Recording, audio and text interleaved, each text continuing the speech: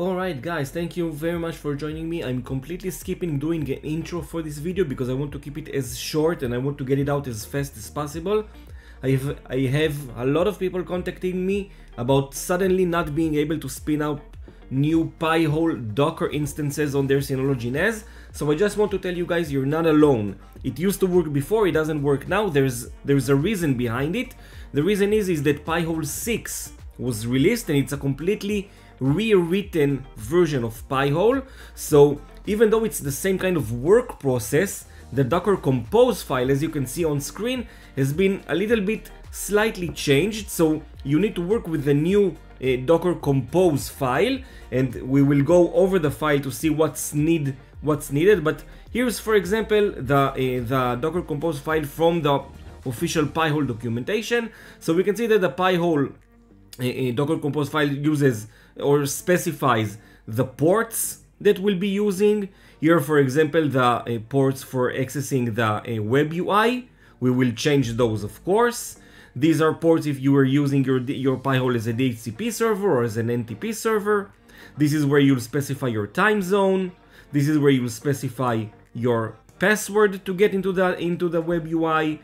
This is where we'll specify the volumes or the folders that we will create just like we did on previous versions and actually that's it. Now I know there are a lot of other more advanced versions or ways to get Pi-hole up and running. I'm going to show you the simplest way to quick and dirty to get up and running. I know also that we need to take a look at migrating from version 5 to version 6 that will be a separate video on its own. So enough talking let's get started. So the first thing that I want to do is to go into my NAS into my file station and this is my docker shared folder where I uh, keep all the uh, docker files of my docker instances and let's create a new folder and let's call it pi-hole 6 Inside this folder, we'll need to create two subfolders. One will be called Pi-hole, and the second will be named DNS mask.d and that's it. Now, what we'll need to do next is go into Container Manager, Project, and create a new project. Let's name the project Pi-hole 6 let's specify the path inside the docker folder pi-hole 6 folder. As for the docker compose yaml file we'll need to create a new one. And in here let's paste the official docker compose file from the pi-hole documentation. So let's click here and paste but here's what I want to change before I get started. First of all, I don't want to use port 80 or 443 because I don't want uh, to maybe conflict with other services running on these very default ports. So for me, I will change this to 80, 82, and this I will change to 4444. Just randomly select ports that you see fit. Another change, of course, will be the time zone, and that, that's according to where you are located, but all the strings to all the available time zones you will be able to find right here.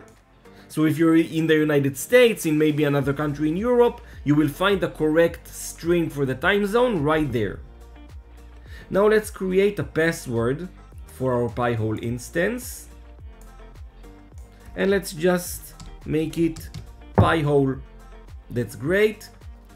One last thing that we'll need to do is to specify right here the folders that we've just created. So let's select up until the colon and let's click on it and delete.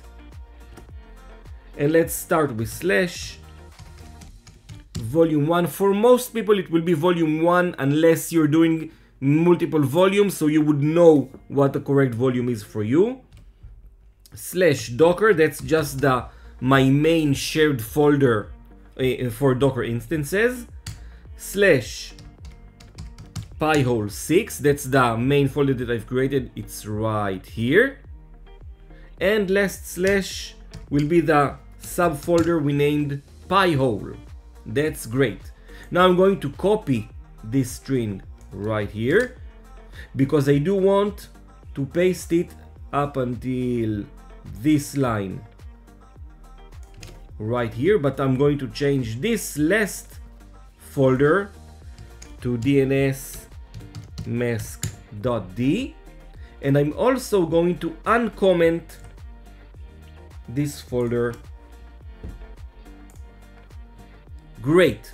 That's the last modification that, that I wanted to do. I just want to make sure that uh, uh, the Docker behavior will be restart unless stopped, meaning that even if I restart my Synology NAS, the Docker instance of Pi-hole will be automatically uh, powered on unless I manually stopped it, in, the, in which case even if I restart the, the uh, Synology DSM device, the uh, Docker instance will not be powered on.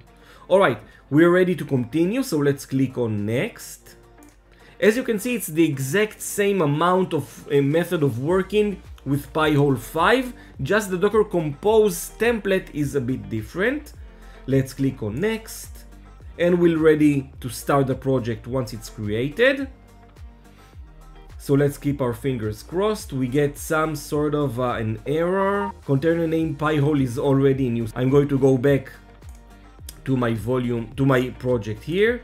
And I'm going to need to change this container name because I already have a container with Pi-hole for other testings. But you will probably not get this uh, error at all. And let's build it from scratch. Alright, so probably this is what you'll see. Maybe you will have a few lines of the uh, of the Docker of the Docker container pulling the latest version of Pi-hole Otherwise the exit code should be always zero and that means everything was built out just fine.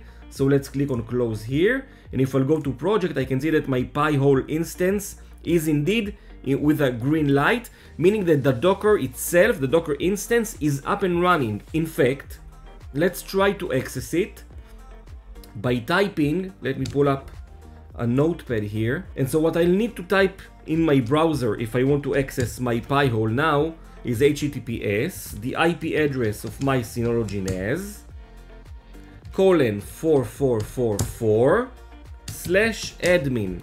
Let's take this string right here, open up a new tab. Alright, great. Meaning I now get into the, if i click on continue here, I get to the Pi-hole web UI. I'll type my password, which is Pi-hole. Great, now I'm get I'm I'm at least ready to start working with Pi-hole version 6 and I'm ready to uh, build up my Pi-hole. By the way, just so you know, we have a few uh, a few modifications we need to do in order to get our Pi-hole at least more robust or ready to work with. One of the more uh, major changes that we need to do is to add lists to our Pi-hole and, I'll and I have a great resource to add lists to our Pi-hole and I will of course put the link to this resource in the description of this video. If I'll scroll down, for example, let's take add lists. I'll copy the link, I'll go to my Pi-hole and I'll go to lists, paste the URL, add block list. Let's add another one, for example, for malware. Copy link, paste it, add block list, and let's even do another one for ransomware. That's great. Copy link, paste it in, add block list. That's great. Uh, by the way, just before I update all the lists, I do want to show you how to add, for example, known domains that you might use that you want to whitelist.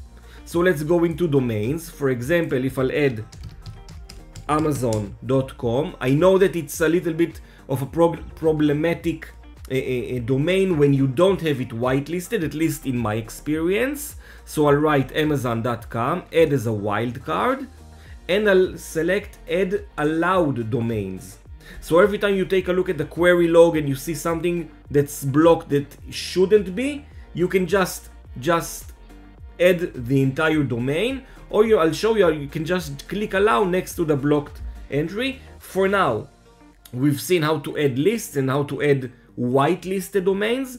The next thing we'll, we'll do is to update the gravity. The gravity is the mechanism that actually updates the list and populates them. So let's go to, sorry, tools, update gravity, and click on update. This might take a minute or two or three, just let it run, do not navigate away, just be patient with it. Alright, we got the green light, so let's go back to the dashboard and we can see we have this many uh, domains on our block lists. So let's, for example, try to go into a website that I know contains many ads usually, and that's speed test.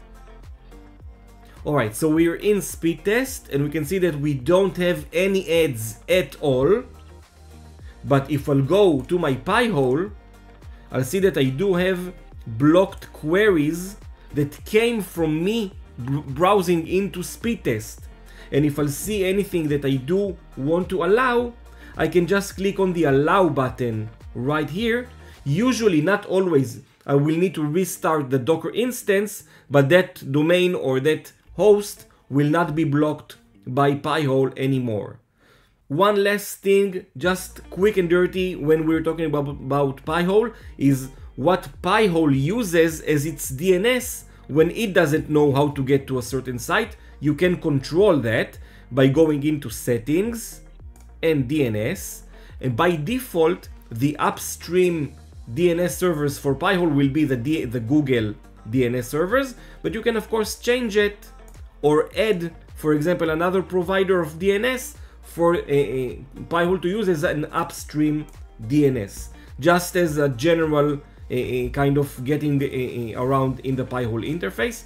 But otherwise, guys, this is how you spin up a new Pi-hole version 6 Docker instance in Synology, how you add uh, lists to it, how you add whitelisted domains, Alright guys, I hope this was informative for you. If you like this video, please give it a like and I will see you all in the next video. Maybe it will be the video of migrating from Pi-hole version 5 to version 6. Alright guys, take care.